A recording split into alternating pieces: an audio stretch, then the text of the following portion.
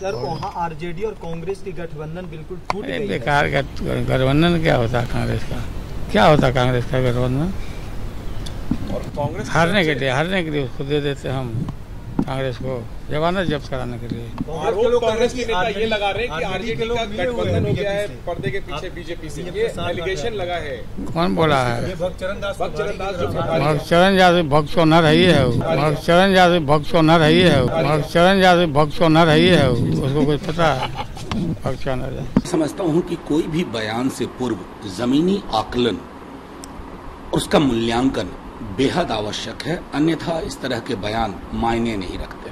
मैं इस तरह के बयान जो आते हैं पॉलिटिकल वोकेबुलरी नहीं है। अ, ना हम हमारे दल ने कभी किसी के लिए इस्तेमाल किया है इतने बड़े राजनीतिक जीवन में। मैं सिर्फ़ इतना कह सकता हूँ उनको शुभकामनाएँ देता हूँ। मैं राजनीतिक भाषा की गरिमा का बहुत ध्यान रखता हूँ लेकिन हाँ उन्हें बहुत बहुत शुभकामनाएँ वो तरक्की करें और भी ऊँचे जाएँ।